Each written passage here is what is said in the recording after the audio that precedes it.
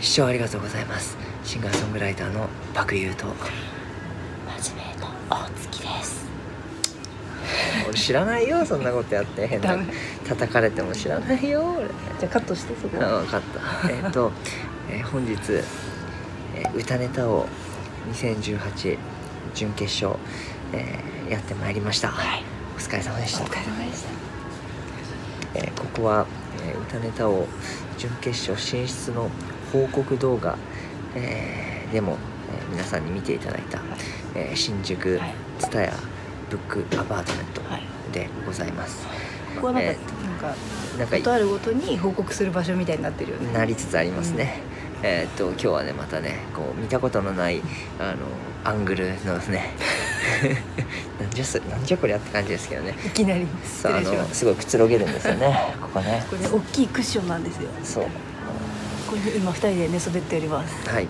えーっと動画が終わったらもうすぐ居直りますからね、はい。えーでえーっとまあ歌ネタ王はい。という、えーお笑いのはい。賞レースに、はい。えー真面目いと大月はい。という名前で、まあ、今回はコンビとして、はい。えー参加しておりました、はい。で、えーと。今日はその準決勝ね。とそうですねえーハーモニックホールというところでやってきました。はい。えっ、と出演組数が約30組ぐらい、はい。えーでずっとこう3分のネタを、えー続けざまにこうやっていくと。お客さんは入って、あそうですね。えーやっていくという感じだったんですけれども、えーどうでしたか？いやーなんかリハからもそうだったんですけど大会っていう雰囲気が全然しなくておーでなんかすごいピリピリもしてなかったし、こう皆さん優しい方ばっかりで楽屋でも、うん。ピリピリしてたのは裏方だけでしたね。見てるかもしれないから。いや見ない見ないあのあの裏方のスタッフはやっぱりタイトなスケジュールの中、はえーイベントをこうねうまく回さなきゃいけないというなく進行するためにね。かなりピリピリしておりましたが、うん。えっ、とまあそうですね。本当にライブをやったみたいな感じでした、お笑いライブをやったみたいな感じでしたね、うんで結果もまだわからないしそうですね。ね、お客さんの投票があるわけでもないし、うん。うん。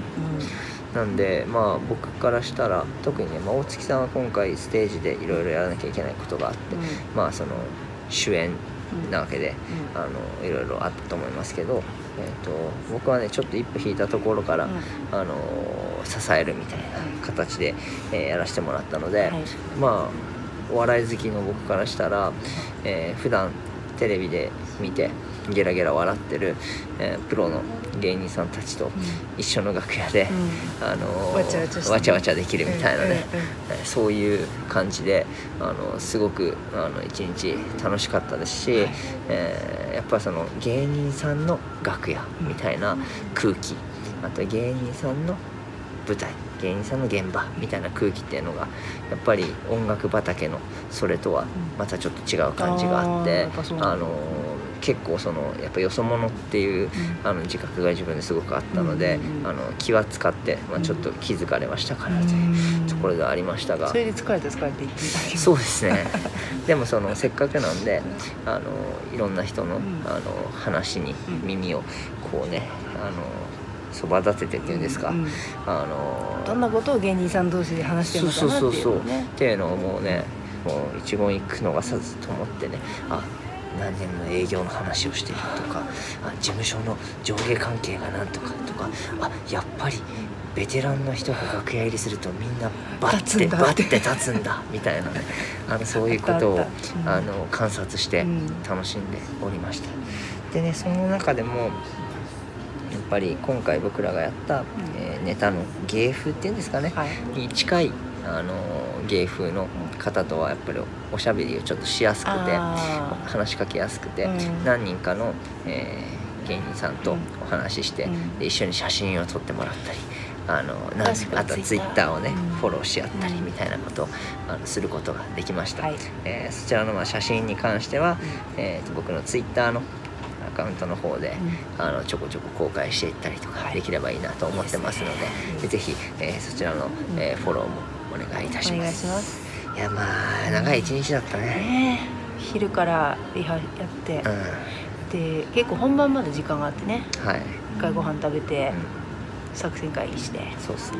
ででもまあ本番はもう3分あっという間で終わってしまって。そこから先は、えー、と楽屋待ちの、えー素人みたいな感じでみんながね出番を終えて戻ってくるとこをあの待ち構えてて、うん。えー今や今だったら話しかけられるかなとかっていうのをそうそう。あの隅っこの方から、うん。あの様子を伺うみたいなね、で。一応ちゃんと挨拶はするっていうね。あそう。お疲れ様でした。そうっすね。一応ねそこはねあの芸人しっかり。芸人の世界のしきたりにはい。習ってる風を出してね、えーやっておりましたけれども、でも皆さん優しかったね。うん。優しかったっていうか 多分誰かわかんないから優しくせざるを得ないよ。あ、扱いがね。うんなんだだなんだろうなこのわかんないもんね。T シャツの人たちっていう、ん。あそうだから今日覚えてもらうためにわざとすごいそう。言っといた方がいいよね。うちらが本当にガチでペアルックしてる風にあ思われる。痛い痛いカップル。痛いカップルみたいな。もしくは爆買い外国人。みたいなね。これあえてですよ。そうあえあえて。て名前を覚えてもらうために揃えたん。でねやってたんですけれども、はい。あのーよかったね、じゃあ今日さ、うん。お客さんとして見にくれ見に来てくれたさ、うん。お友達がいるからさ、うん。そその感想も聞いてみない？感想、うん。いいんじゃないの？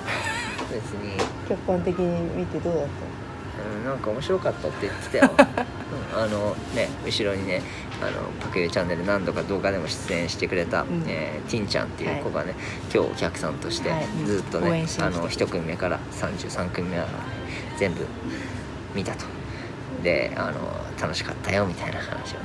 今回あの出演者の僕らは他の芸人さんのネタっていうのを見られなくてた見られなかったんですよ。残念ながら。話によると例年は楽屋にモニターがあってそれで見れ見れたみたいなんですけど今年はちょっとね楽屋の環境のね問題で見れなかったそれがちょっとね楽しみにしてたので残念でした、ねえ。だから自分たちがどうなのか手応えみたいなところも全然ねまあ、正直ねわからないんですけどあとはうんあの審査員の皆さんに委ねると言いますか、うんこれね決勝行けたら、うん。